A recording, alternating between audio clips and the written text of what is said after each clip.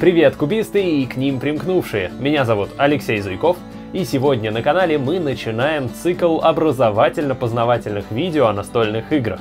В сегодняшнем поговорим о настольных терминах и сленге настольщиков. Ну да, вполне казуальный такой тайл-лейнг с мипл плейсментом, без даунтайма почти, с мажорити, кстати, и определенной долей Take Z. Но, но не филлер, конечно, нет.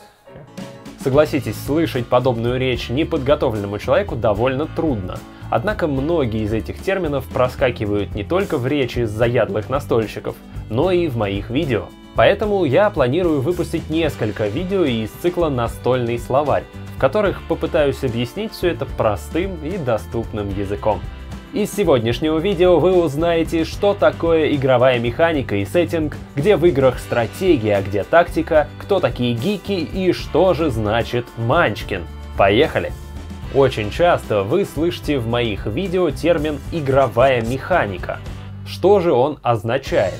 Говоря простым языком, игровая механика — это набор базовых действий, общий для многих игр — Бросок кубика для передвижения фишки по полю – пример простейшей игровой механики, или, например, сбор сетов из карт. Из разных комбинаций этих самых базовых игровых механик и состоит, по сути, любая настольная игра. При этом новые игровые механики сейчас практически не появляются, лишь виды изменяются и усложняются старые. Но исключительно на голых игровых механиках построить игру довольно сложно – и тут на помощь приходит сеттинг. Очень многие путают этот термин с сюжетом, но это не совсем верно. Сеттинг — это обобщающее слово для описания антуража игры, который включает в себя и время, и место, и условия происходящего в ней. Сеттинг может быть как довольно общим, например, просто фэнтези, так и весьма конкретным, например, Звездные войны — в идеале сеттинг должен не просто сочетаться с игровыми механиками, но и дополнять их.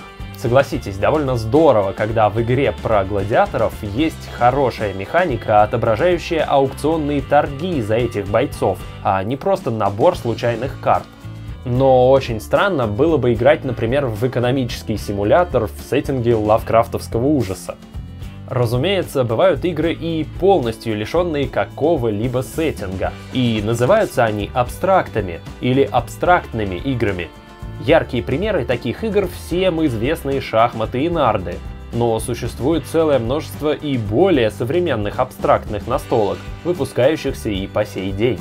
Сеттинг в них либо отсутствует вовсе, либо накручивается сверху, чтобы игра лучше продавалась. Я бы, например, точно не отказался от таких шахмат закрепим понимание игровой механики на конкретных примерах. Кинь-двинь является одной из самых известных, примитивных и потому таких популярных и массовых настольных механик. Бросили кубик, подвинули фишку, вот и вся суть игры. Каких только настолок не делали с этой механикой, какие другие механики к ней не добавляли и в какие сеттинги не переносили – но к этой механике в сообществе серьезных настольных игроков по-прежнему относятся негативно и считают ее не заслуживающей внимания. В английском языке, кстати, такого пренебрежительного термина «кинь-двинь» не существует. Пример более сложной и современной настольной игровой механики — это декбилдинг или дословно колодостроение — как и следует из названия, в таких играх вы сами собираете свою колоду прямо в процессе игры. Каждый ход вы разыгрываете карты, которые позволяют вам приобретать более ценные и эффективные карты на будущее. Это, кстати, одна из самых свежих настольных механик, которая была изобретена менее 10 лет назад. Тем не менее, Доминион оказался настолько популярен, что у него появилось целое множество подражателей – Колодостроение на сегодняшний день стало уже почти что базовой механикой для многих настольных игр. Появились даже игры, где по схожему принципу игроки собирают не карты, а, например, кубики или жетоны. Поэтому сейчас все чаще эту механику называют уже не дек, а pool building. Еще одно популярное заблуждение, с которым я частенько сталкиваюсь в комментариях, кстати, не только в настольной среде, это отличие стратегии и тактики. Тактическая настольная игра — это такая игра, в которой игрок должен выбирать и предпринимать действия, исходя из текущей игровой ситуации, здесь и сейчас. Например, пошаговое сражение, где игроки руководят одним бойцом или небольшим отрядом — это тактика.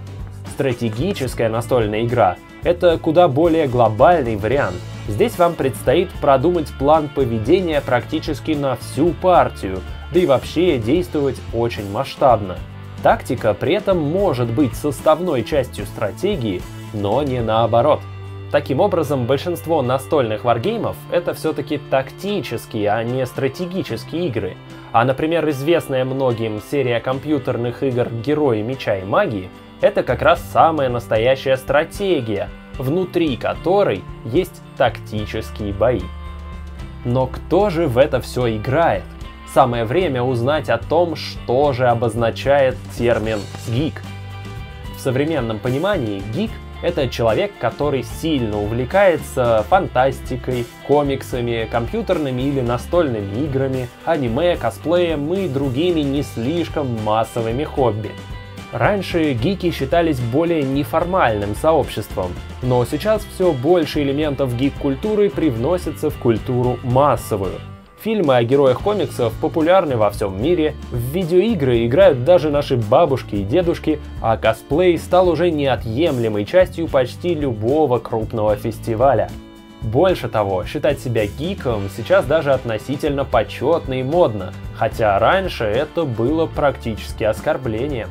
Стоит упомянуть, что изначально гиками звали цирковых уродцев, которые откусывали головы живым курицам и вытворяли прочие мерзкие вещи на потеху публики.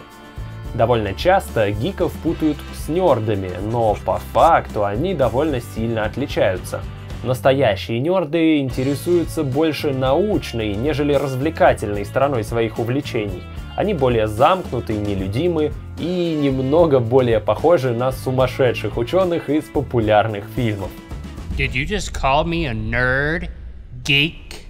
Ну что ж, сегодняшний рассказ получился у меня довольно подробным. Я даже сам не ожидал, когда садился писать сценарий, что все получится ну настолько развернуто. Тем не менее, когда мы уже описали все базовые понятия, в следующий раз нам будет гораздо проще поговорить о более конкретных вещах, Например, чем же все-таки отличается Америтрэш от Евро? А на закуску у меня есть еще одно слово из словаря настольщика, истинное значение которого знают, оказывается, очень немногие. И это слово «манчкин». Нет, это не порода кошек и не живун из страны Оз. Манчкинами в настольных играх называют игроков, готовых на все ради победы, даже в том случае, если эта самая победа не является целью игры как таковой.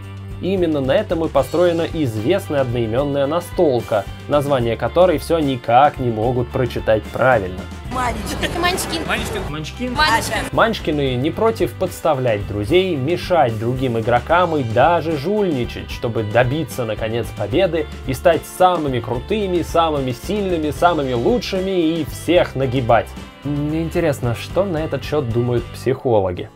На этом наш сегодняшний выпуск настольного словаря подходит к концу. Обязательно пишите в комментариях, о каких еще настольно-игровых терминах вы хотели бы узнать. И до новых встреч на канале и не только.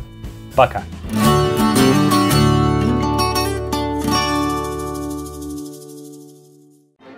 Не знаете, где купить настольные игры? В магазине «Игровед» сотни игр на любой вкус –